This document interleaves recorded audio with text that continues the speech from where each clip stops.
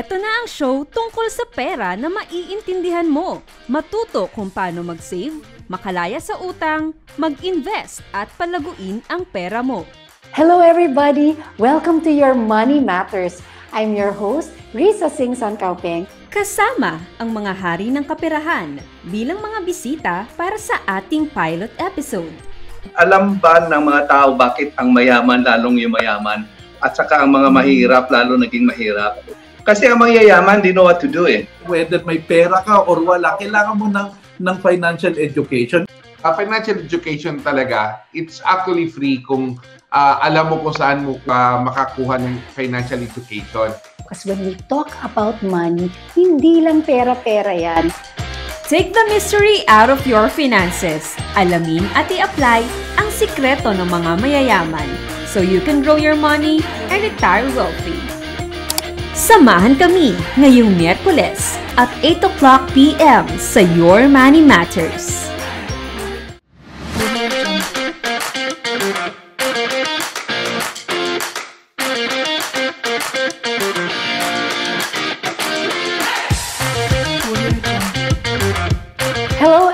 Everybody! Welcome to Your Money Matters. I'm your host, Risa Singh Son Kaupeng. And in this episode, we'll be learning from Ray and Ginalyn Labrado. Mag-asawa sila and Ray used to be a maintenance crew and um, Ginalyn used to be an accounting clerk.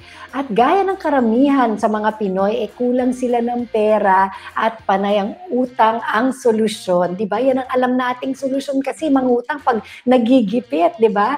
Uh, pero um, to, today, you know, almost every night, itong mag-asawa na ito ay nagtuturo at gumagabay sa mga taong nahihirapan din uh, pagdating sa pera. So we're gonna meet them in a while. Masinsinang usapan po ito because when we talk about money, hindi lang pera-pera yan. So I promise you that if you stick around till the end of the show, ay siguradong meron kayong mapupulot, meron kayong matututunan that will move your finances forward so that you can retire wealthy. Palagay mo, alin sa mga sumusunod ang paraan na mapapasa mo ang pamana mo na walang buwis na babayaran? A. Bahay at lupa. B. Pera sa bangko. C. Stocks. D.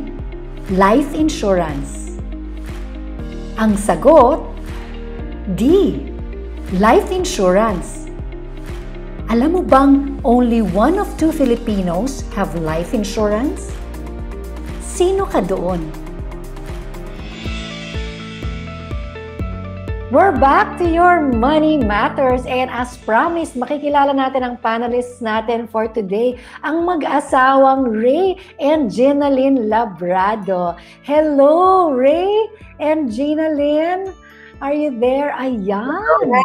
Hi, Teresa. Good Good evening po. Good evening po. Yes, good evening, good morning, good afternoon. Kahit Good afternoon. Yes, pero kayo ay taga Cebu, tama ba? Yes, Yes, po. yeah. Yan, naku, matamis ang mangga dyan sa Cebu, kaya magpadala naman kayo dito sa Maynila. At saka lechon. Ay, oo, ang lechon na walang sauce. okay. Um, Ray, na-mention ko kanina that you used to be a maintenance crew. What exactly did you used to do? Ano yung trabaho niyo dati? Basically, trabaho ko, Sister Riz, ano ka eh, ako talaga yung taga-ayos ng mga ano po, taga-ayos ng mga um, mga machines po talaga minsan kung talagang hindi umuubra, so ako talaga yung taga-fix po, ako taga-troubleshoot. Yung trabaho ko dati po. Talagang ano, talagang uh, we need to uh, work hard po talaga kasi alam mo na, marami talagang mga pakingailangan sa pera po. Yun, yung trabaho ko before po. Machine, ano anong klaseng mga machines, mga production, used in po production? dati, yung kumpanya ko dati, Sister Riz, nasa ano kami po, sa nag-manufacture kami ng mga ng mga furnitures po. So, it's a Japanese firm. So, tapos po yung mga makinarya niya, karamihan kasi galing sa Japan. So, minsan po talagang nakakalito yung mga manual nila kasi Japanese po kasi yung mga manual nila. So, yung trabaho ko sa Riz, tutroubleshoot ako kung may mga, minsan po, hindi talaga gumagana yung mga machineries po, yung trabaho ko po talaga. As a maintenance po talaga. Okay. Oo nga, maganda nga ang mga furniture dyan, di ba? Sa Cebu, yun ang ah, naalala ko sa mga bisita ko dyan eh. And Gina Lynn, what kind of company did you work for as an accounting clerk? Hi, hello, Sister Risa. I, I used to work as an accounting clerk in the shipping lines. And then I work, I've been working there for more than 10 years. And it happened na in the first uh, shipping company, I was retrenched. No? And then during that time, na-retrench ako, but wala kaming savings. Then Then I moved up. I moved to another company, uh, also a shipping company, and then I worked there as an accounting clerk again.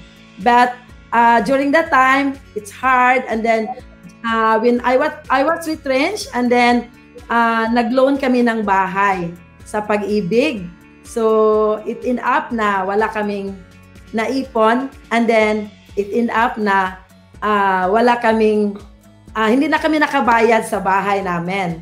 So, yun. Oh, no? no. Pag, uh, so then, uh, thanks God that uh, yung kapitbahay namin, uh, siya yung nag, nag-invite namin dito sa IMG.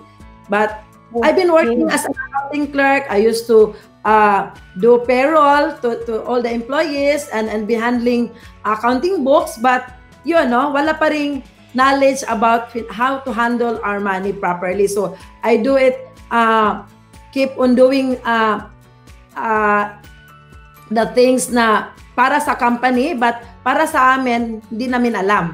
Kaya Oo. yun ang Oo nga. kami utang. Yun na nga ang tatanungin ko. Wait, Gina, before I ask that, no? So, um, ba, na-retrench ka? Ano yun? Bakit? Was there a, was there a crisis? Kasi ngayon, ah, retrenchment is a very common word. Di ba? Sa mga nagtatrabaho dahil sa pandemya. But uh, you said na-retrench ka. Bakit meron bang um, crisis na nangyari noong mga panahon na yon? Yeah, during 1997, uh, there's a crisis po sa company namin.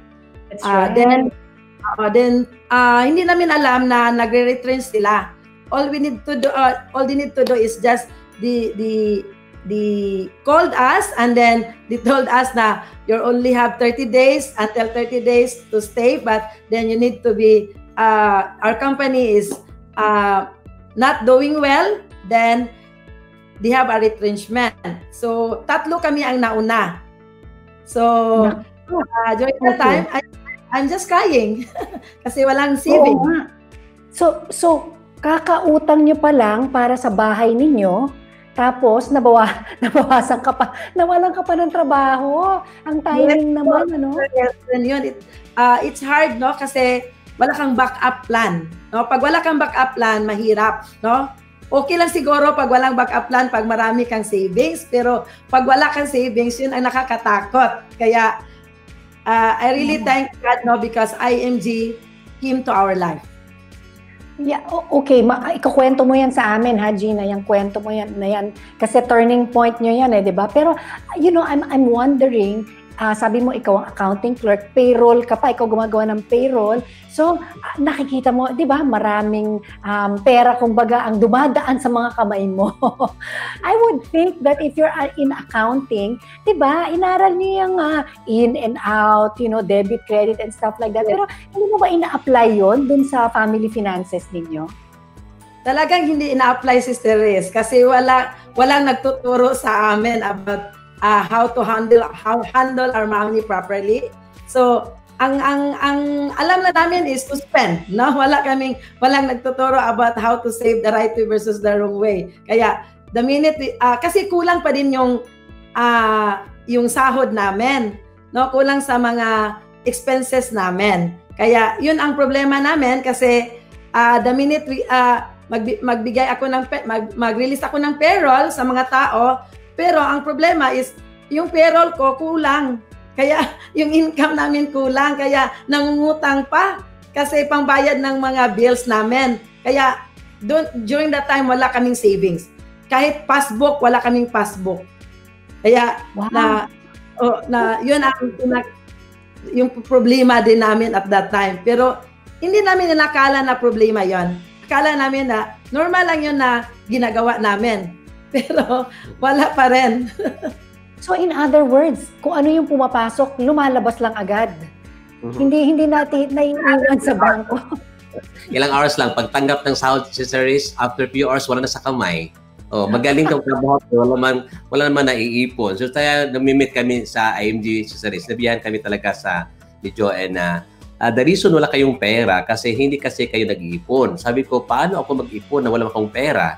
Kaya nga, wala kang pera kasi hindi ka mag-iipon. Sabi ko sa sarili ko, ano ba talaga mauuna? Ipon or pera? So yun talaga yung natutunan ko sa MD. Talaga, we do whatever it takes talaga. We find a way na dapat magkapag-umpisa po. Yun talaga natutunan ko sa MG po.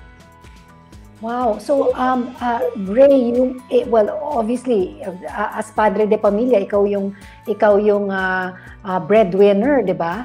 So, nung nawalan ng trabaho, si Gina paano mong lalong paano niyo nag, nag, nag-juggle yon yung, yung finances? So, kasi ngayon, that, you were reliant on two incomes. Tapos nawala yung sweldo ni Gina Lynn. So, sweldo mo na lang ang inaasahan. So, ano anong ginawa ninyo nung para mapagkasya?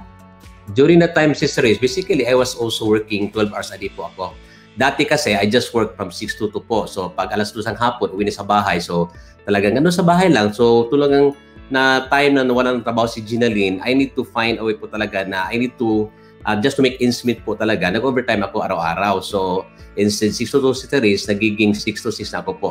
Saka Sunday, nagtatrabaho pa ako 6 to 2. At least 6 to 2 lang po kasi dapat naman pupunta ng church pa after the sa job sa Sunday po. So, yun, ang trabaho ko is 6 to 6 po, 12 hours every day, saka Sunday po nagtatrabaho just to make ends meet. But still, ganun pa rin si Therese kulang na kulang pa rin po. Yun ang problema namin. Grabe. So, nabawan kami sa utang talaga si Cerise. Hindi naman namin alam kung paano talaga masosolve yung problem namin. Not unless dumating si MG po sa buhay namin. So, tinuruan kami paano ma-consolidate yung mga utang tapos paano talaga ma-eliminate po. So, laking tulong talaga po yung mga teachings ni IMG. Kasi we rely only, uh, Sister Isa, sa, sa utang, no? Kaya sabi nila, mm-hmm. hindi naman tayo rely sa sahod, but we rely on utang. Kaya utang para ibayad sa utang, para ibayad sa utang. okay. So, uh, actually, ang topic natin um, tonight or today is yung um, tungkol sa life insurance. So yan ang uh, gusto kong tumbukin nyo, yan ang tatanungin ko sa inyo at uh, dyan tayo magfo-focus, no, yung um, having life insurance. Pero before we go there, um, so uh, alam ko, wala, wala kayong mga anak, no? Um, Ray and Gina Lynn. So at least wala kayong pero pero meron ba kayong sinusuportahan na magulang or or mga kapatid? Ah, so Marami. sinusuportahan Marami kaming sinupusor, uh, uh, nagsusupport kami sister sa mga kapatid ko kasi walang-wala din sila sa Mindanao. And then yung mga pamangkin namin, yun ang sinusuportahan namin until now. Kaya okay. siguro binigyan kami ng maraming blessings ni Lord din kasi ang dami din naming sinusuportahan sa sa mga pamilya ko. Wow. Okay, so um uh, so ang topic natin talaga um, sa episode na ito is about life insurance. Kasi maraming mga tao na nag-iisip na waste of money lang ang life insurance o ay, you know, aksaya ng pera. Parang ay hindi ko kailangan ng life insurance. Pero uh, you know, um importante, importante yung life insurance, 'di ba? I mean, like like kayo, sa inyong kayong mag-asawa, um, wala naman kayong anak na na sinusuportahan. Um, kailangan pa ba ng life insurance para sa inyong para sa inyo? Yes po, sister. Kasi time will come, uh, pag tumatanda tayo, then wala tayong insurance, no? If something happen, or pag magkasakit, kailangan natin yung life insurance because life insurance is nothing but savings. Uh, kami din before, no? Matatakot ako bumibili ng life insurance. Ayoko yung life insurance kasi akala ko is just an expense. But life insurance pala, uh, when I learned that in IMG, life insurance is nothing but savings, no? So, parang you pay yourself in a form of savings. So, life insurance is just uh, putting a small amount of money and and controlling a big amount of money. So, yun ang hindi nalalaman ng iba na akala nila natatakot sila sa insurance kasi hindi nila alam na ang insurance pala is savings. So, kaya savings is an expense that buys your future. Yun ang nakagandahan. So, Siguro, ang kulang lang siguro sa lahat ng mga tao ngayon na uh, hindi hindi bumibili ng life insurance is financial education. Yun ang mm-hmm. kulang sa kanila. So kaya tuturuan natin about financial education. Yun ang campaign natin ngayon mm-hmm. na educate all people about financial literacy. Okay, ayan po ah, ah, marami akong tanong ah, Ray and Gina, Gina Lynn tungkol dyan sa life insurance and I'm sure yung mga nanonood sa atin eh, ang dami rin nilang mga tanong. Pero ah, we will ask that pagkalipas lang po ng ilang mga paalala, babalik po ang Your Money Matters.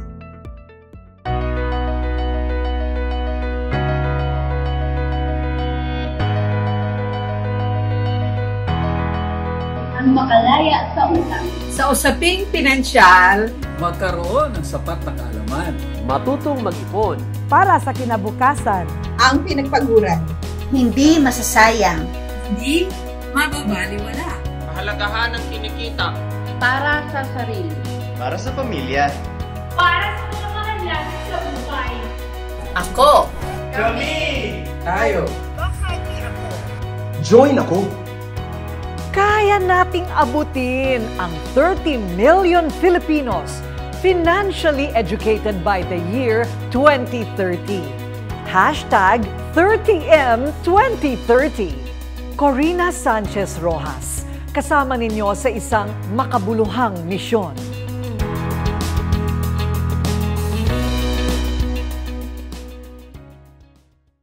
Kahit ano man ang estado natin sa buhay, we keep working But we keep forgetting, we seem to forget that health is the real wealth. Kasi you never know what's going to happen tomorrow. Ang mas nangangailangan yung mga lalong nahihirapan. Kung kaya naman nilang maghulog ng paunti-unti, basta meron kanya, may protection ka. Kasi baka yung kinikita mo hindi sapat sa pambili ng gamot. Marami nakakasakit, mga anak, di ba, o ikaw mismo. Lalo kung ikaw yung breadwinner, nagtatrabaho ka para sa pamilya mo, tapos bigla ka nagkasakit, paano na yung pamilya mo? At kahit nga anong estado, it's one thing off your list ang aalalahanin. Kahit ako, di ba? So, that's why it's important to have it. Kasama ko ang Kaiser, kahit maputi na ang buhok ko. May Kaiser health card ka na ba? Sharon Cuneta po, para sa Kaiser. Welcome back to Your Money Matters. At ayan, itutuloy na po natin ang usapan natin with Ray and Gina Lynn tungkol sa life insurance. Okay, ang dami kong tanong. Uh, nasa na sila? Ray and Gina, um, we were talking about life insurance. At, um, you know, you were, you were telling us na yung life insurance eh parang ano yan uh, small money controlling big money. Anong anong ibig sabihin noon nung sinabi mo? Kasi uh, maraming mga tao parang feeling nila ay ba't ko kailangan ba't, ba't ko pa kailangan yung life insurance? Di ba? Parang eh kumikita naman ako or you know uh, hindi hindi masyadong clear kung ano yung um, ginagawa ng life insurance when it comes to our um, financial foundation. So can you explain to us Yeah, uh, una sa una sa lahat as sister is just like minsan po kasi ang tao na misunderstood po kasi yung importance ng insurance po kasi. So, as uh, simple lang naman po, if you love your family, you gotta protect yourself po because uh, you want to protect your family as well. Kasi nakakatuwa kasi minsan sir is pag sinabi natin na bahay po talaga, talagang insure natin po 100% yon, di ba? Hindi man kailangan 10% lang kasi we make sure na the buong bahay po talagang coverage po so something happen naman. Kasi presyo sa atin. So whatever pesos po talaga, talagang insured natin. It's just like sample studies, yung sasakyan natin sa series, yung kotse na din po. So make sure yung kotse po talaga may coverage yun. Hindi 10% insurance po, kundi talagang 100% coverage po. Kasi pag 10% lang, baka yung gulong lang in-insure natin. So we make sure na pesos kasi mabahaling kotse natin. So make sure na 100% yung protection ng kotse po. Pero something nakakatuwa dito lang sa dalawa series na yung kotse po, between the kotse po at saka yung driver ng kotse. Minsan, ang tanong, sino ba yung mas importante, yung kotse o yung driver? Sabi, of course, yung driver. But, Siyempre, yung driver, di ba?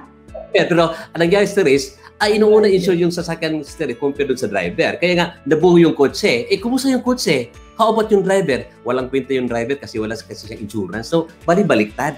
Diba? Kasi tayo kasi yung breadwinner, tayo yung money machine po, talag, tayo talaga umaasa sa atin. So, kung wala pa tayong pera sa the more we need insurance po. Kasi ang kulang talaga ng tao is just about finance education talaga po. Because we thought, insurance eh, sayang pera yon Insurance eh, uh, hindi ba ako mamamatay? Ganun ba? Para bang nagiging negative siya sa risk?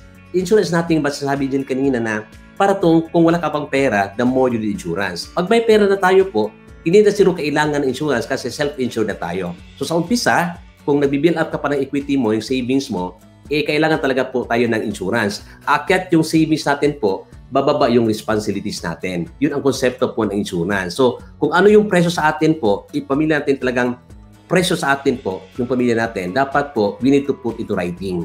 Di ba? Dapat po, magsa-sign up tayo ng insurance coverage kasi we show our love to our family po. Ganun po talaga yung insurance. It is a matter of, ano talaga, Sir Therese, i-share natin sa mga tao na uh, it's just a matter of protecting yung sa money machine po. So we protect what is precious to us we to make sure na talagang kina-cover natin. Parang konsepto din Sister is na uh, if want I want to right now uh, bring this jar let's say sa isang lugar tapos mabasagin na, na jar, talagang precious na jar, ay make sure ko talaga yung jar na yan. I-insure ko talaga yon Kasi pag nabasag yun, dapat may sasagot. Di ba? So ganun talaga yung whatever precious there is, we make sure na talagang kina-cover natin po. Yun. Oo nga, totoo yan, no, Ray? Because um, uh, like ako, when I first had my car, first time ako nagkaroon ng kotse, syempre, ba- brand new yung kotse ko. Aba, eh syempre gusto ko yung full coverage ng insurance. Comprehensive diba? Kasi para pag mabangga, um, siguradong may sasagot nung, or manakaw, di ba? Manaka, manakawan ka ng kotse, so at least merong mababalik, uh, may makaka-replace nung um, sasak yung cost ng sasakyan. Pero I never really thought about life insurance in that way. Pero tama nga ano kasi yung yung um, you were talking about money machine. So as as a breadwinner, Ray, ikaw yung money machine ng ng pamilya mo, 'di ba? And you are a maintenance crew kanina, sinasabi mo na ikaw ang nag-aayos ng mga makina uh, na gumagawa ng mga furniture doon sa Japanese um, company nyo. So, we ensure na yung yung um, mga makina dahil yun ang gumagawa ng produkto, kailangan umaandar ng maganda at kung hindi umandar, eh siguradong mare-replace natin. Yeah po. Okay. So, tinatawag sa stories na income replacement po. Kasi kung nawala na yung money machine po, anong mangyari sa pamilya? So, they will also suffer po. Kaya nga, kung sino yung kumikita, dapat yun, yun ang priority po na dapat natin i-insure po. Kung sino yung kumikita ng pera kasi siya ang dadala ng pera po sa pamilya niya. Yun po importante. Kasi sometimes, which means, yes, yes, Gina, go. And Sister Risa, uh, yung tao ay akala nila na they just buy insurance just for the sake of insurance. Hindi nila alam na ang insurance pala para sa pamilya. So, ganun din kami dati when we, wala pa kami sa IMG during that time. Takot kami ng takot sa insurance kahit binibintahan kami ng insurance. Ayaw namin kasi sayang lang yung pera na binabayad namin. Wala naman akong makukuha. Kasi ang tiningnan lang natin is yung, yung ngayon lang. Hindi tiningnan natin yung future. Na time will come, the minute we will retire, meron tayong pera na makukuha. No? Damit in, case something happen. Kaya hindi naman tayo kagaya yung sinabi ni Ray kanina na yung kung meron kang sasakyan, kailangan natin yun i-insured ng full coverage. But what about the, the money machine na siya yung nag, nagbibigay ng uh, suporta sa pamilya. Kasi sabi, something happen sa sa money machine or the breadwinner, so kawawa naman yung pamilya. So to compute the life insurance is how to magkano ba yung magkano ba yung price ng ng money machine, no? So of course, no to compute is yung monthly income mo or yung uh, annual income times 10. So that's your your coverage for your life insurance. But of course, no, yung mga tao, pag hindi nila walang knowledge about, full knowledge about financial literacy, yun, takot sila sa insurance. But kami, yeah. uh, uh, during the time studies na, na, na meron na kaming financial knowledge about life insurance or about sa may nagtuturo na sa amin about IMG. So, yun, doon na kami bumibili ng life, uh, life insurance. Okay, you mentioned na yung yung value na, ng life Actually, uh, Gina, ako guilty ako diyan sa sinasabi mo. Yung minsan bumi, bumili ako ng life insurance dahil nakiki ano lang, yung alam mo yung na, naawa ka sa kaibigan mo na na nagbebenta or nahiya ka kaya napabili ka pero hindi ko alam talaga yung yung ano ba yung ibig sabihin, no? ano ba yung value, basta kung ano na lang sinabi niya, yun na lang kinuha. No? Pero you are talking about a certain value. Sabi mo, um, kung magkano yung annual income nung, nung um, money machine or yung breadwinner, times 10. Ba- Saan ang galing yung ah, ano na yon? Saan ang galing yung formula na yon? Bakit times 10? Bakit hindi times 2? Sa risk, uh, para siyang ano siya sa risk multiplier siya po. Kasi should something happen kasi po, sample yung annual income sa risk, let's put it this way na lang, 10,000. is let's say 300,000 po yung annual income niya. So to compute po ng income replacement is i times 10 natin sa risk, yun ang multiplier po. Kasi pag 300,000 times 10, naging 3 million. So ang dapat coverage sa risk sa isang tao na kumikita na 300,000 a year should be 3 million. Bakit po? Kasi should something happen dun sa money machine, sinasabi natin kanina po, dapat may income replacement. So ano, ano mangyari po sa 3 million? So ang 3 million sister supposedly, dun po sa naiiwan sa pamilya niya, hindi po talaga sana igastos yun. Dapat ilagay po yun sa isang investment po, just like for example sa mutual fund, na in average sa risk kahit kita po ng 10% na rate of return po. Kasi ang 10% na rate of return doon sa 3 million po is 300,000. So parang nagiging income replacement po siya. Pala tuloy ang buhay po nila. Continue yung mga bata, mag-aaral po kung ano talaga dapat bayaran na bahay o ano mga expense nila po, tuloy-tuloy po talaga siya. So kahit na wala yung breadwinner sister race, but yung kita po, di ba, yung insurance sa coverage po, tuloy ang buhay sa pamilya niya. Yun, Yun, po pala. talaga. Kaya, kaya importante yung um, life insurance, lalo na nung breadwinner, no? Para, um, yun na nga, yung gastusin ng pamilya, covered pa rin kahit na nawala na siya. Okay. Eh, pa- paano naman? So, um, eh, di syempre, gaya ng sinasabi nyo, eh, um, halos hindi nyo nga uh, mapag-abot yung kita nyo. Um, so baka naman sobrang mahal yung life insurance pa, bago ka makabayad ng life insurance. Ah, kailan pa yun, di ba?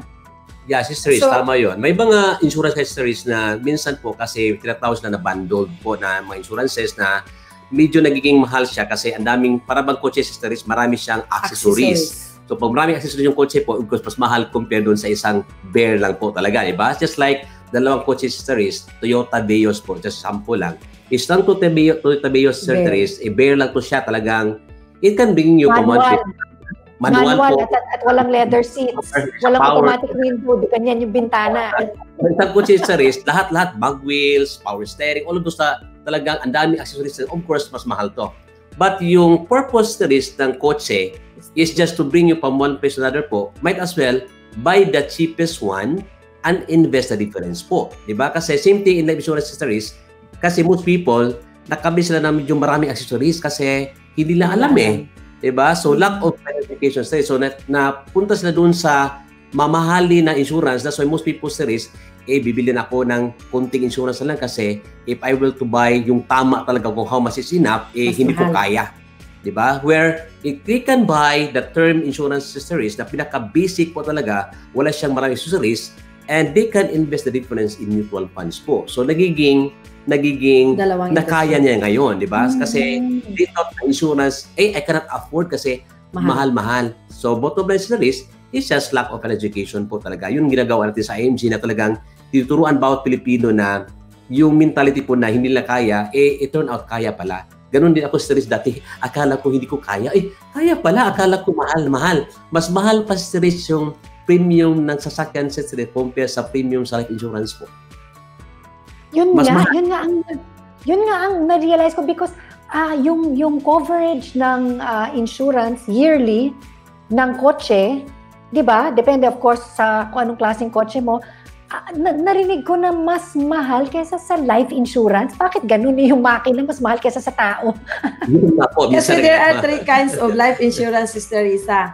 There's a whole life, which is you need to pay for until age 99. Uh, and also, there's also an endowment na uh, you just pay uh, short term but long term yung yung benefits mo and yun ang pinaka-expensive kind of insurance. Ang pinaka-basic insurance is the term insurance. But mostly ang binibenta nila is yung whole life at saka endowment. Pero kasi hindi nila alam yung may may mura palang insurance na kaya ang insurance tinatawag natin na putting a small amount of money and controlling a big amount of money kasi yung term insurance is the cheapest kind of protection and then ah, kahit 1 million ang bibilihin mo, mura lang ang babayaran mo kasi term insurance. So, yun, ah, kung wala tayong alam dyan, kasi sometimes bibintahan ka lang na insurance na yung pinakamahal. But here, if you have the, the knowledge, mostly na na-meet namin na ang wala silang alam about there are three kinds of insurance. So, yun, ang, ang tinuturo natin is yung pinaka-cheapest kind of insurance kasi para lahat tayo protected. So, kaya yung iba matakot bumili ng insurance. Sige nga, bili na lang ako kahit walang, walang alam. No? So, kailangan natin i-educate para mm-hmm. matuto nila na ano bang kailangan, magkano ba yung kailangan para sa akin at the same time, uh, yung pinakamura at at the same time yung yung instead na magbabayad sila ng ma- mahal then yun, ang difference is ilagay nila sa savings. Yeah, tatlong okay, ano so dapat, yes. Ng classes na risk, para puro yung tatlo sinasabi niya kanina risk, puro yung term po. Yung unang term, yung age 99 is hulay po, term up to age 99. Yun po. Ah, so pangalawa naman po is term na magmamature ng ma- ma- medyo mas madali po. Yung sabi niya kanina, pero mas mahal siya. Mga triple din po yung premium niya. So term for 20 years siya po, so naging endowment siya. Meron ding term po kung talagang gusto mo lang. So para siyang nag, uh, nagre-rent ka ng bahay sa na alangan mag rent ako ng bahay hanggang age 99. Baka in the future kung may, ano, may saring bahay na ako. So same thing insurance service, it's just like renting big money po. Wala pa akong pera, eh rent muna ako ng big money insurance po. Pag may pera na ako, I don't need to rent anymore kasi self-insured na ako. Yun talaga po ang kulang ng mga tao sa education po talaga. Oh. Kasi, wow. Kasi we only need insurance histories if we don't have money yet. But if we have a lot of savings later on, we don't need insurance anymore kasi self-insured na tayo. Oh, yun pala yun. Ngayon ko lang naintindihan. Ngayon lang talaga. Okay, so basta kung wala pa kayong life insurance, ang kunin is term kasi yun ang pinaka-mura. Term yeah. life insurance. Wow, that is fantastic. Okay, sige, magbabalik po. Magbe-break lang po tayo ng commercial tapos magbabalik po ang Your Money Matters. Bakit mahalaga ang life insurance? Yung experience pala na pag ikay nawawalan ng mahal sa buhay, hindi mo kaya mag-isa. Ang lungkot, lungkot, lungkot, sasadsad ka, gagapang ka, iiyak ka. Ang pinakamaganda sa life insurance, it makes life easier para doon sa mga naiwan. Katulad na lamang halimbawa, Manila Bankers Life. Para mong kamag-anak, para mong kapatid na nariyan in your moment of grief. The best way to show your love is to assure your loved one that I will not only take care of you during your lifetime, but I will take good care of you in this lifetime and beyond. Boy Abunda po, para sa Manila Banker's Life, the best way to show your love.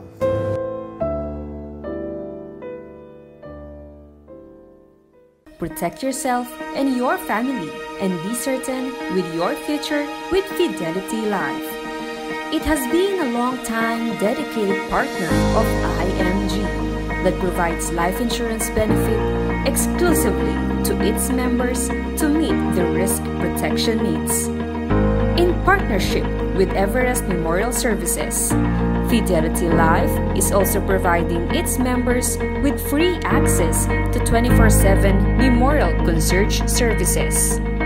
With the consent of the beneficiary, Fidelity Life shall apply the insurance benefit to cover the expenses for the memorial services of the deceased member. At Fidelity Life, the care of our members and their families is our first and most important business. Be life confident by protecting your loved ones and securing your future. Kaiser Medical Center provides a wide array of diagnostic and medical care services ranging from immediate quality medical care to consultation to individuals and companies all over the Philippines.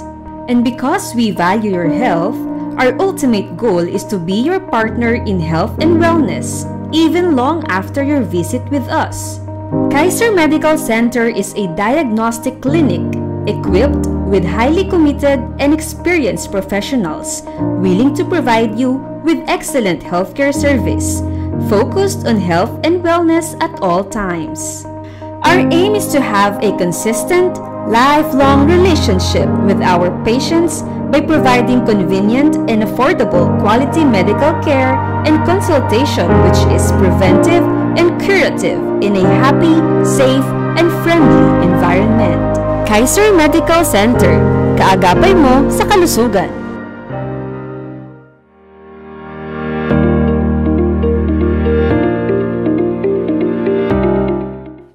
Hi, this is Elle.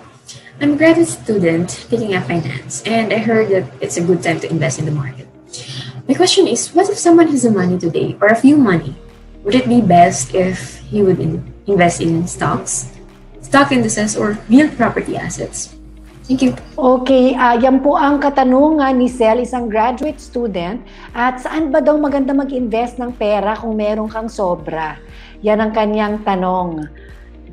Alright, so kung uh, of course no, kung i, uh, gawin natin yung if we just follow the solid financial foundation because just like building a house sister is na kung mag, maggawa ka ng bahay, dapat ang ang foundation natin strong in case pag may lindol or may may mga baha, 'di ba? Kailangan strong. So same thing with our financial.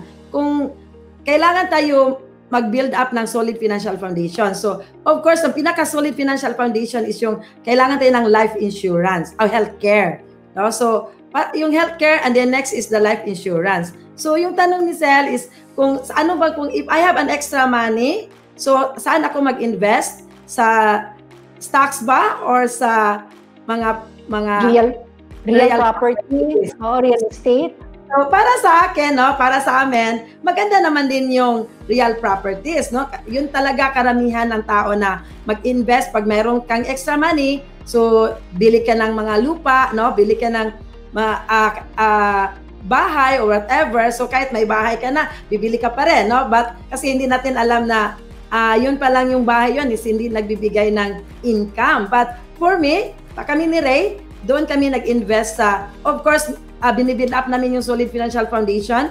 Yung we have we have healthcare, we have life insurance, and then we have emergency fund, and then debt management. So of course no uh, una yung mga utang i kailangan natin i-eliminate or i-wash out natin lahat and then that's the time we, we we have to have an investment. So para sa akin is mutual fund is the best. Kasi ang mutual fund hindi ka na what may driver ka na hindi ka na kailangan na ikaw pa ang ang mag mag mag maghanap ng sana ko magbibili ng ng shares no? So dito sasakay ka na lang kasi may driver ka. Kung mas maganda yung of course no pag may sasakyan ka pag may driver ka mas maganda yung may driver kasi sabihin mo lang driver punta ako doon sa SM o ihatid ka doon. Siya nang maghanap ng parking. So yun ang mutual fund. Pero kung ikaw ikaw mismo talaga ang mag mag uh, trading or magsa stocks kailangan ka pa ikaw mismo ang driver So, anong mas maganda? Ikaw ang driver or ikaw yung magda-drive? So, ah, para sa amin, I work uh, we work smart, no? Kasi kailangan namin ng uh, wala kaming knowledge diyan. So, let the let the expert do it in behalf sa atin. So, ang ang ginagawa lang namin is uh, nag nag-invest lang kami sa mutual fund. We keep on adding, we keep on adding. Let the driver do it in behalf sa sa amin to let our money grow. Kasi sila yung expert. Kasi pag ikaw ang magda-drive, you need to put your life into it 24 hours kung saan ka bibili ng stocks. Basically, mm-hmm. sa akin, sir, is yung pag-save naman po, unang-una talaga is you need to ask yourself, bakit ba ako mag-save? Ano ba talaga yung plano ko? Diba? Kasi most of the people kasi, sir, is ne, gusto ko mag-invest o gusto mag-invest pero talagang wala siyang alam kung saan, saan, ano yung goal mo. ano ba talaga yung purpose mag-save ka? So, uh, based on experience namin, sir, is kami ni Jeline before din po, talagang hirap kami sa pera. Nung nag-join na kami na IMG, pinagsabihan talaga kami ng mentor namin na magsisave talaga kayo. So sabi ko sa sarili ko, paano ba talaga mag-upisa? Kasi akala ko sa risk na pag-save po talaga, most people thinking na, ah, tsaka na ako magsisave pag marami akong pera. Yun talaga po yung mindset ng tao. Tsaka na lang yun pag mayroon akong pera. Ang tanong ngayon, kailan ba ka magiging maraming pera? So ngayon po talaga, nag-decide, nung umuwi kami after the orientation po talaga, nag-decide kami, Jelena, kung sakaya lang natin, Jean, kung magkano talaga yung makakaya natin. So, Nagko-compute kami sa risk, talagang ang kakayang talaga namin po, yung 1998 po talaga is just to save. Set aside po talaga 50 pesos a week lang po talaga yung kaya namin. As a start. 50 pesos po. Mm-hmm. But still, uh, kino-compute time is 50 pesos a week times 4 week. Naging 200 pesos na rin po. So, 200 pesos, uh, natutuwa na kami. Kasi for how many years kami sa risk na talagang uh, nagtatabaho. Zero, zero savings. Yeah, so at least, ay, at least ngayon 200 pesos richer na tayo ngayon compare kahapon. Di ba? So ngayon, ay nakikita na sa risk na ay, ang ganda pala nagsasave, kaya pa natin yun. Sige nga, after few months, sister, we decided na, sige, try natin yun, idubli natin. Bakit? Kaya i-save natin ito 100 pesos per week na ngayon. So, 100 pesos per week, times per week, naging 400 pesos. Mm-hmm. Ah, nakita rin yung habit pala po ng saving. Kasi, we realize saving po talaga is addicting. Once nakita mo series na kayang-kaya mo pala, nagiging habit na po. So same thing goes with utang. utang. Pag ang habit mo utang talaga, hindi ka makatulog hindi ka makakautang. Di ba? So ngayon, mm. pili ka mo, money going in ba or money going out ba? So kami, matagal na kami sa series sa money going out eh. Yung sabi mo kanina rin sa accounting niya, what's going in, what's going out. Kami parang out eh, parang in. Di ba? So ngayon, yeah. what's money going in right now rather than more money going out. And the rest, the rest, the rest sa history na nakita ko kung kaya talaga po yung disiplina lang sa consistency po talaga, lahat tayo yeah. po financially free in the future. Mm-hmm. Yun. So, hindi kailangan maraming pera. Okay, so ayan, Sel, ang ang uh, sagot mo. So uh, unang-una, kailangan mo muna to know why you're um, saving it up, what you're saving it up for, 'di ba? At saka unahin muna yung uh, gaya ng sinabi ni Junaline, no, unahin muna yung healthcare and then yung um, life insurance. So kung wala pa 'yan, eh wag muna mag-invest siguro, no? Dahil kailangan merong kumbaga yung tinatapakan mo eh solid na. Ayan po. Uh, so, pwede rin po kayong magtanong ng sarili yung mga katanungan about your finances. Uh, i-email nyo lang po ang inyong video question sa yourmoneymatters.ph at gmail.com. At pag napili po ang inyong katanungan, aba, sasagutin po yan ng ating mga financial experts. So, maraming salamat, Ray and Gina Lynn, sa mga tinuro niyo sa amin. Bitin daw, bitin yung... tungkol sa sa ano sa insurance. Pero I'm sure ano yan patikim lang yan, 'di ba? Para uh, lalong magtanong at lalong alamin ng uh, mga watchers natin, ng mga viewers natin tungkol sa life insurance. So thank you so much, Ray and Gina Lynn. Sa pwede ba may i-add konti? yes, yes. Sige, last word. want to know more about about financial literacy. So be part of our campaign sa IMG. So we have our campaign of 30 million families by year 2030. So we need to have, we need to educate uh, 30 million families by year 2030. So be part of our campaign that that is revolutionizing the financial industry. Sigurado ako na marami kayong natutunan sa ating mga panelists. And um, I hope that uh, yung learning natin will translate to a wealthier you so that you can retire wealthy. Till next week, I'm your host, Risa Singson Kaupeng. I'm gonna see you again because your money matters. We would like to thank our sponsors. Learn the secret to saving and building your future. Become your own financial educator through IMG, International Marketing Group, your total financial solution. May Kaiser para sa iyo kahit maputi na ang buhok mo.